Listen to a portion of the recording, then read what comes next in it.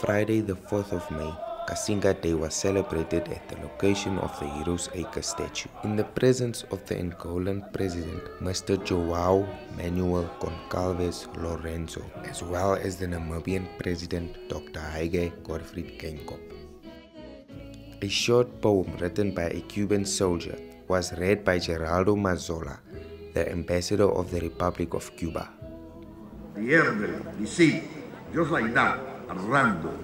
The airplane disgorged snapper vomit, and then the mercenaries finish off whatever remained alive. Followed by a song prepared by the Angolan choir presented to the two presidents. Agostinho Neto.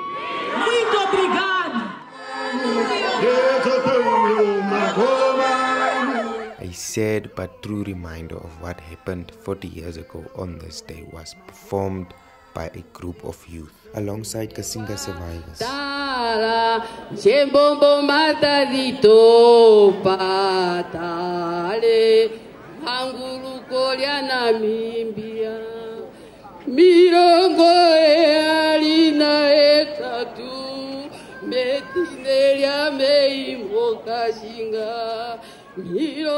Followed by the emotional performance, an address was delivered from each president of the two countries. The scene was set.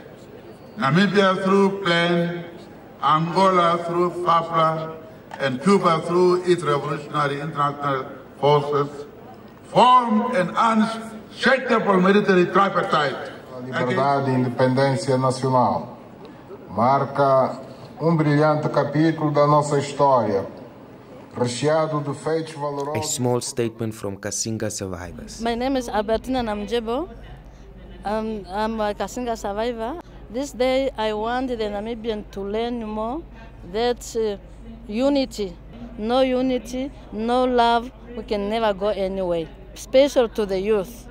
We have to work hard, we have to love one another, we have unity, is when overcome for freedom and we overcome to, to lead this country. Study hard. Tomorrow you will be a leader for us. We fought our rights. Now it's yours. My name is Keno John Namolo. I'm a survivor of Cassinga, and um, I was 19 by then. Every year when we commemorate this day, it's a very emotional day to us. Uh, you have seen some people were crying when uh, um, um, a group of uh, young people were demonstrating how it happens.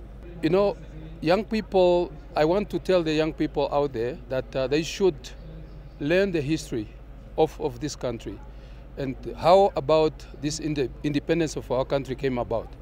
So it's very important that uh, we, we remember those who sacrificed their lives on behalf of every Namibians.